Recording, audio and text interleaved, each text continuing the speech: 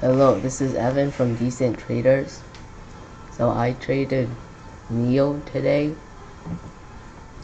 and at the start, I shorted around the VWAP, and then I covered a little bit, and then I got out.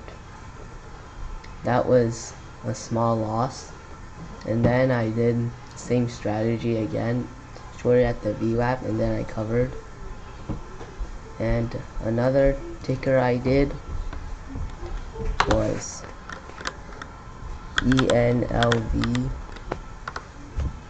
and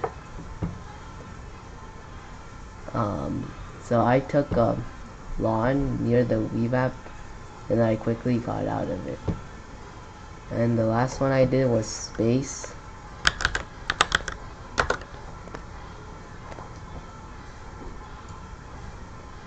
So here I shorted and then I and then started rising so I got I got out of it.